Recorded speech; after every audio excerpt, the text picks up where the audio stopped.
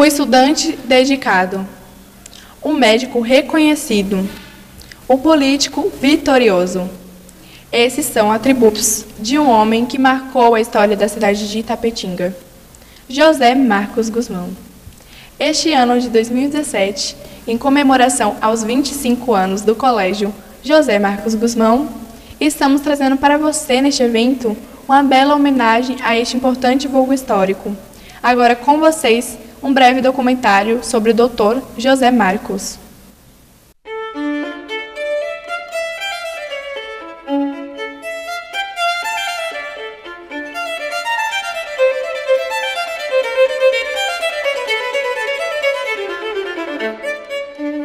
José Marcos de Souza Guzmão nasceu na cidade de Vitória da Conquista, Bahia, em 25 de fevereiro de 1937. Desde menino, tinha um sonho a ser realizado, ser médico e poder ajudar muitas pessoas. Por isso, ainda muito jovem, se inscreveu no exame para cursar medicina na Escola de Medicina da Bahia, na cidade de Salvador. Foi aprovado no exame entre os primeiros colocados e estudou durante cinco anos naquela faculdade, realizado o sonho de ser médico.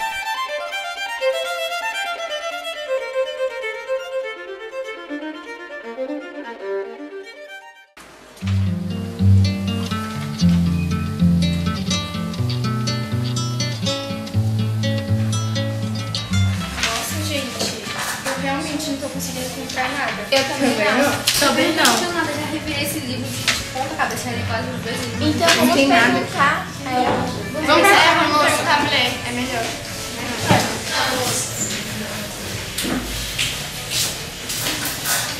Uh, boa tarde. É que a gente está fazendo um trabalho sobre José Marcos Doutor, mas a gente não está encontrando nada. Aí a gente veio aqui perguntar para a senhora se a senhora tem como, a gente, como nos ajudar. Porque a gente só está encontrando ele como prefeito e não como médico. Nós temos um material escasso aqui na biblioteca. Mas se vocês querem aprofundar, obter mais informações, acredito que é importante vocês buscarem alguma pessoa da família, alguém que possa fornecer informações mais precisas sobre a vida dele. Ah, tive uma ideia! Que ideia? Uma ideia, a gente pode conversar com o presidente da sala procurar aconteceu.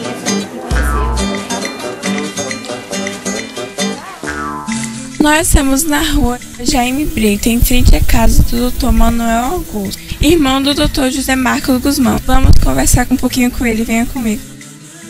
Eu tive quatro irmãos, é, são quatro, cinco homens e duas, duas mulheres, a mais nova e a mais velha. O irmão mais velho é Dermeval de Souza Guzmão, é, a outra é Neilde é, Manuel Augusto, que sou eu, José Bar, Pedro Adilson, Zubênia, a mais nova.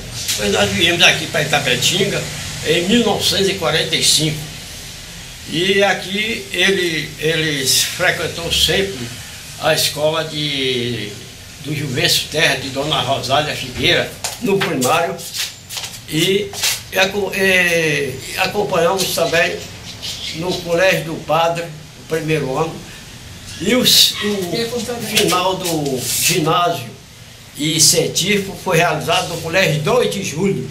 Quando ele, o pai dele morava no Catulé Grande, naquele tempo que não tinha estrada, não tinha nada. Sete filhos pequenininhos, sem nenhum recurso, entendeu? Aí Zé Marcos adoeceu lá no Catulé, no Catulézinho. E aí ele montou no cavalo e veio aqui à terra de um médico. Aí contou como é que ele estava, ele estava muito mal, que não tinha condição de vir aqui naquele tempo, não tinha carro para trazer montado, ele não chegava vivo. Aí o médico disse que não fazia nada. Não, não podia passar um remédio para ele, não, nada disso. Aí ele foi indignado para cá disse, meu, meu filho vai ser médico um dia, vai ser médico. E aí foi com muita dificuldade que ele formou esses filhos todos. Não foi fácil, não. Na roça, naquele tempo que não tinha carro, não tinha nada, com pouco recurso. Foi muito difícil. Minha sobrinha, minha cunhada, a irmã caçula dele, fez seis anos interna em conquista.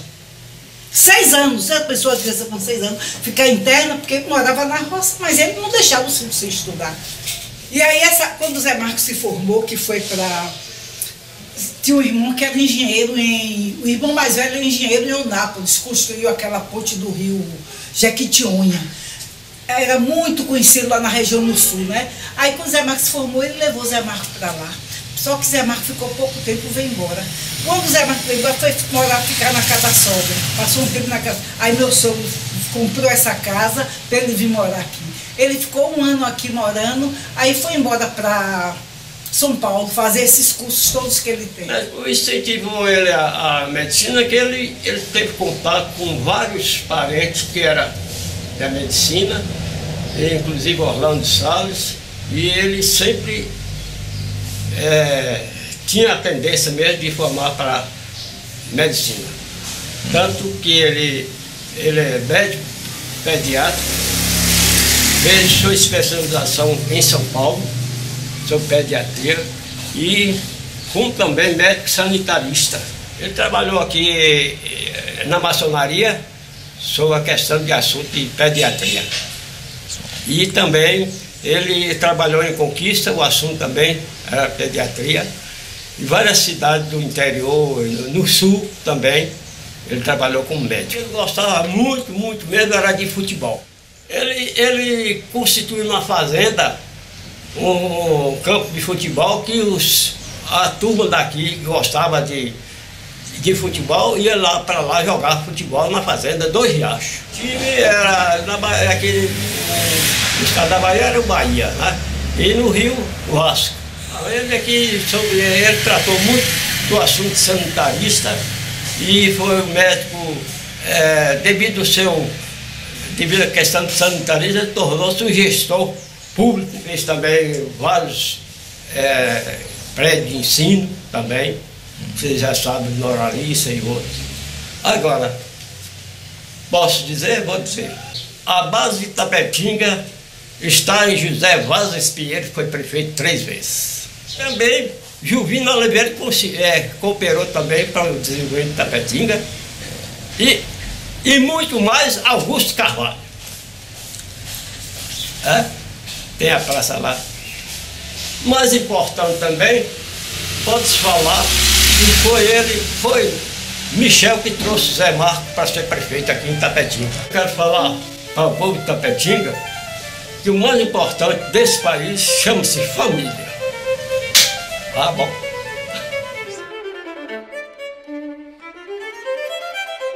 Estamos aqui na Fundação Canto das Artes, onde vamos entrevistar Vanusa Borges, que vai falar conosco sobre sua experiência como paciente de Dr. José Marcos Guzmão. Vanusa, conte pra gente como foi a sua experiência como paciente do Dr. José Marcos Guzmão.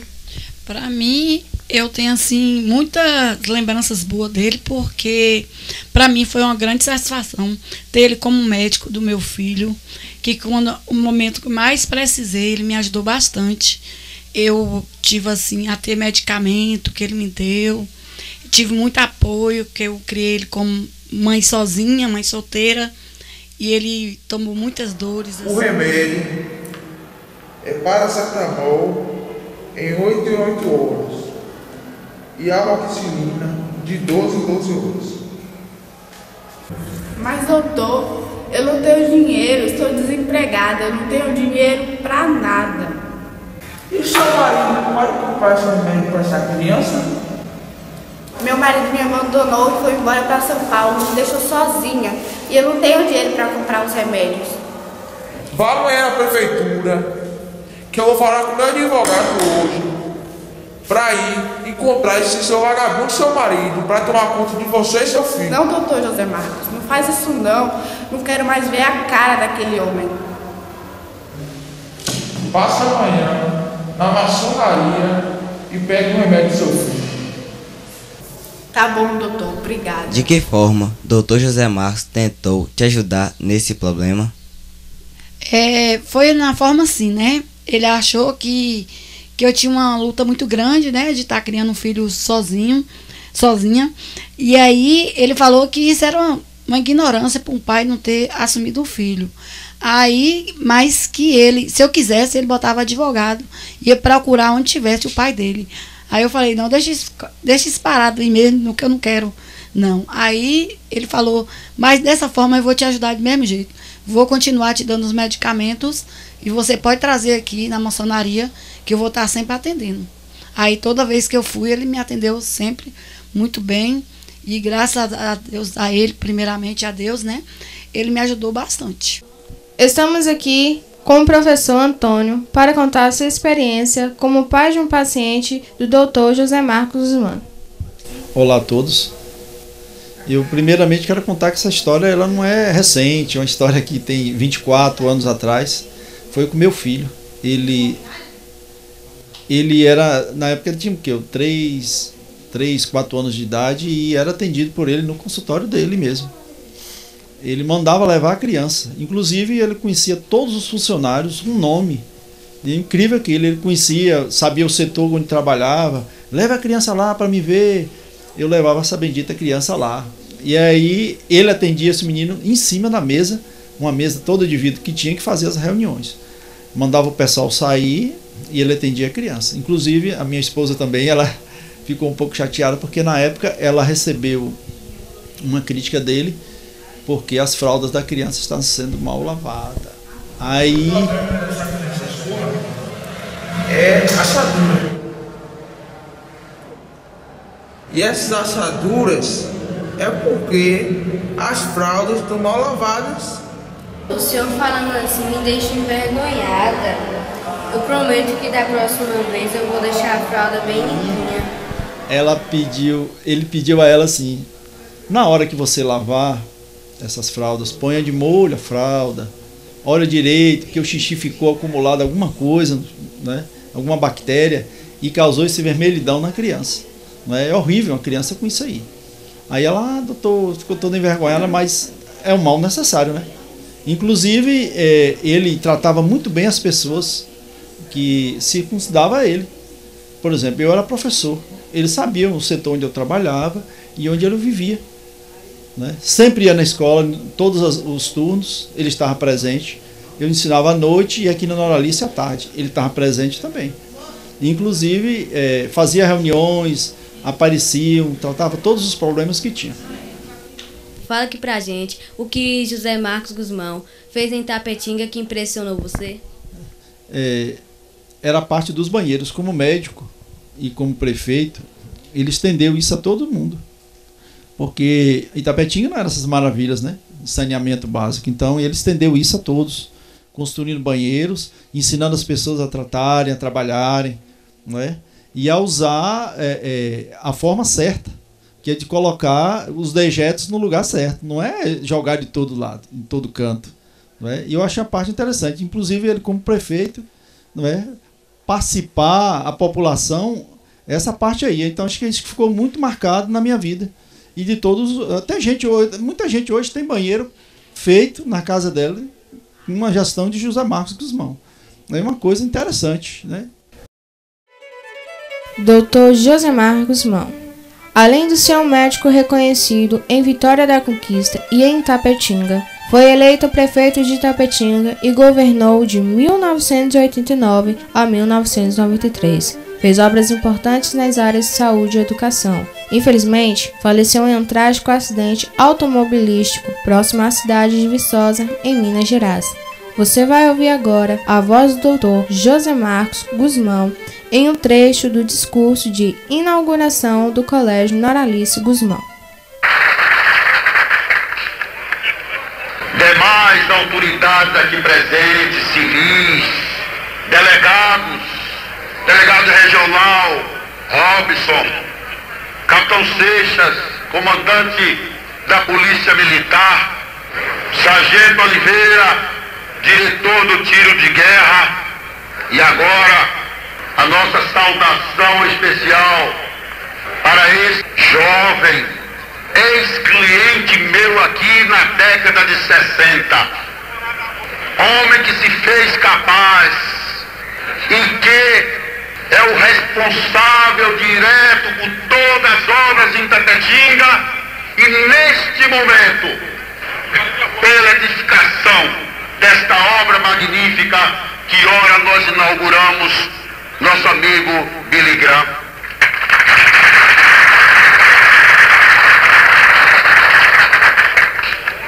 Primeira dama do município e secretária de Educação e Cultura, que tem nos ajudado a desenvolver um trabalho prioritário para a nossa comunidade nesta área tão importante no nosso estado, no nosso país, a professora Noralice Guzmão.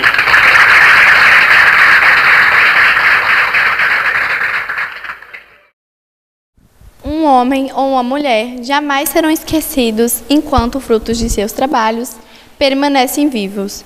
Parabéns, Colégio José Marcos Guzmão. E para encerrar, fiquem com o nosso clipe. Obrigada.